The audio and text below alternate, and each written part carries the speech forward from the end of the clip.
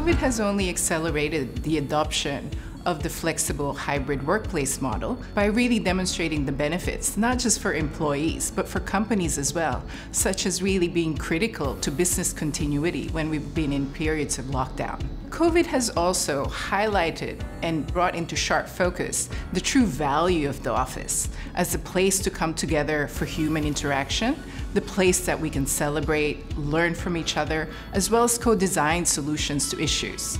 This means, of course, that the office has to be more fun and really maximize opportunities for human interaction. And if we don't have to go to the office every day for work, that also means that our cities must evolve. They need to offer more compelling reasons to visit. We need to be more intentional in only not just designing and curating the spaces within buildings, but also the spaces between them to ensure that we deliver places that are magnetic and to fall in love with.